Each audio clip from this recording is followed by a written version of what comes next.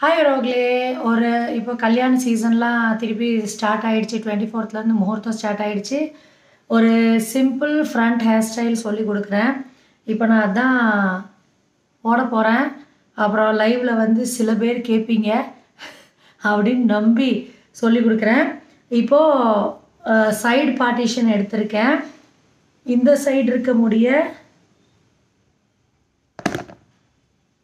நல்லா சிக்கி எடுத்துட்டு காது காது வரைக்கும் இருக்கிறத எடுத்து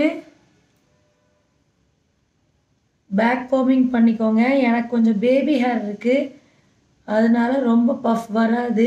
வேணால் ஆர்டிஃபிஷியல் பஃப் மேக்கர் கூட நீங்கள் வச்சுக்கலாம். எனக்கு இது போதும். சும்மா லைவ் வர்றதுக்கு தானே நான் இப்போ எங்கேயும் வெளியே கிளம்பல. சும்மா சின்னதாக ஒரு பஃப் பண்ணியிருக்கேன்.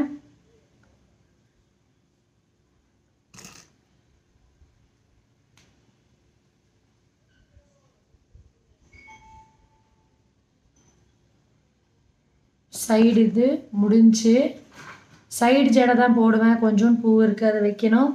இப்போ இந்த சைடு இருக்கிற இது இன்னும் கொஞ்சம் நல்லா வரும். எனக்கு முடியும். அடர்த்தி கம்மியாயிடுச்சாச்சு. கோவிடுக்கு அப்புறம் அப்புறம் பேபி ஹேர்ஸ் ஃபுல்லாக வளருது. அதனால கொஞ்சம் பஃப் கம்மியாக வந்திருக்கு.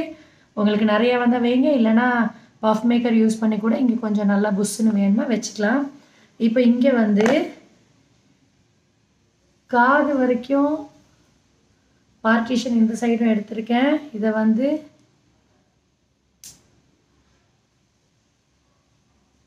கொஞ்சோண்டு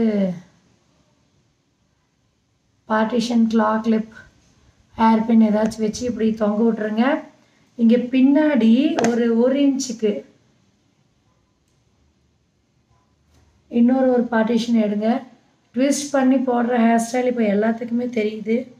அதுலேயே டபுள் ட்விஸ்ட் அவ்வளோதான் இங்கே பின்னாடி இருக்க முடிய ஜடை பின்ன போகிறத தனியாக விட்டுட்டேன். இது தனியாக ஒரு பார்ட்டிஷன் இது தனியாக ஒரு பார்ட்டிஷன் இதையும் நீங்கள் கொஞ்சம் கொஞ்சமாக எடுத்து பேக் ஹோம் பண்ணணுன்னா பண்ணிக்கோங்க. எனக்கு வந்து இதே போதும். பேக் ஹோம் பண்ணல நான். கொஞ்சமாக முடி எடுங்க.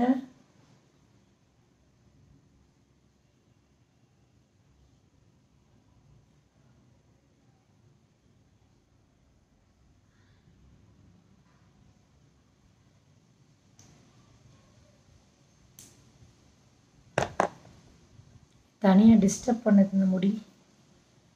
இப்படி வச்சு இங்கே சும்மா லேசாக கிளாக் கிளிப் குத்திக்கிறேன். இப்போ எங்கே தெரியுது வரவங்களே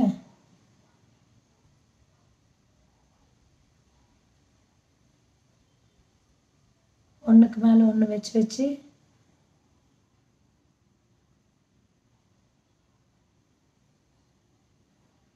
ட்விஸ்ட் பண்ணிக்கோங்க.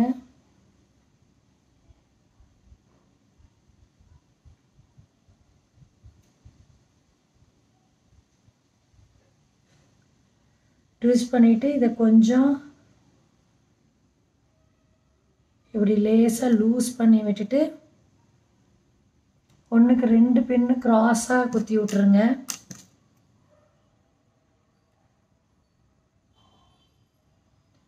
இன்னும் கொஞ்சம் நல்லா விரிச்சு விடுங்க. உங்களுக்கு ஸ்ட்ரெயிட் முடியாக இருந்துச்சுன்னா இன்னும் ரொம்ப அழகாக தெரியும். லேயர் லேயராக அந்த ஸ்டெப்ஸ் எடுத்தது. எனக்கு பேபி ஹேர்ஸ் இருக்கிறதுனால இப்போ ப்ராப்பராக ஹேர் ஸ்டைலே பண்ண முடிய மாட்டேங்குது.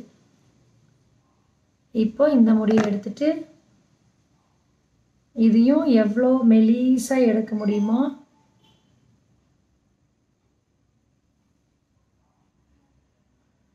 கொஞ்சம் முடியெடுங்க. அதை மேலே வச்சு இப்படியே ட்விஸ்ட் பண்ணுங்க. இது எல்லாத்துக்குமே தெரியும் தான் சிங்கிளாக ட்விஸ்ட் பண்ணுவீங்க. நான் டபுள் ஆர் செக்ஷன்ஸ் எடுத்து ட்விஸ்ட் பண்ணியிருக்கேன்.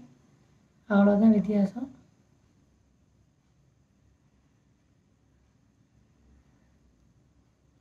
எவ்வளோ மெலிஸ் மெலிசா செக்ஷன்ஸ் எடுக்கிறீங்களோ அவ்வளோ அழகாக இருக்கும். இதையும் பின்னாடி கொண்டு போய் டபுள் பின் குத்திடுங்க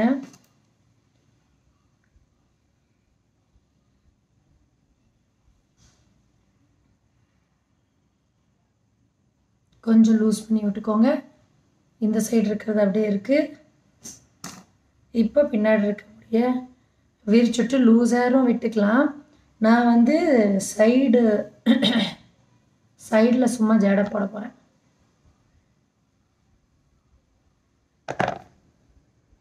இதுலேயும் ஒரு ட்விஸ்ட் என்ன பண்ண போகிறேன் அப்படின்னா ரெண்டாக பிரிச்சுக்கோங்க.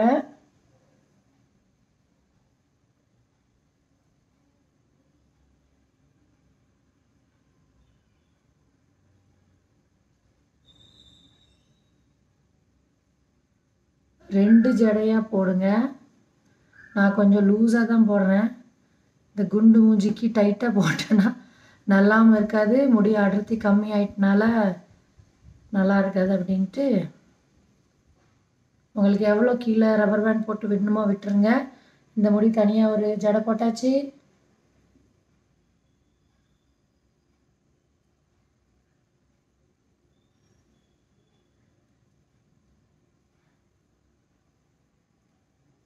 பின்னாடி பேலன்ஸ் இருந்த முடியிலையும்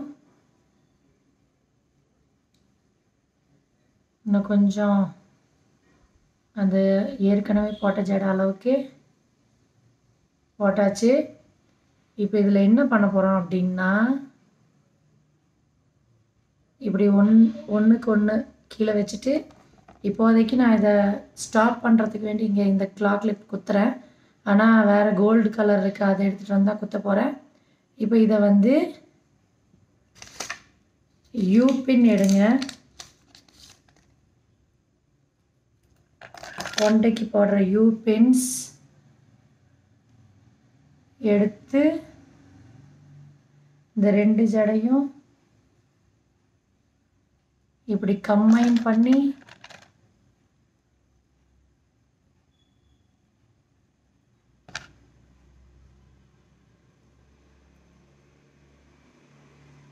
ரெண்டையும் ஜாயின் பண்ணி விட்டு சன்னமாக முடி இருக்கிறவங்களுக்கு ரொம்ப யூஸ்ஃபுல்லாக இருக்கும் அந்த ஜடை. அதுக்கப்புறம் கொஞ்சம் கொஞ்சம் லூஸ் பண்ணி விட்டுருங்க. கைண்ட் ஆஃப் மெஸ்ஸி ஜடை மாதிரி வந்துடும் கீழே இருக்க இந்த வாழை அழகாக ஒரு சின்ன கிளாக் கிளிப் வேறு ஒரு கோல்டு இருக்குது என் ட்ரெஸ்ஸில் கோல்டு வரனால கோல்டு கிளாக் கிளிப் இல்லைன்னா ரப்பர் பேண்ட் ஏதாச்சும் வச்சு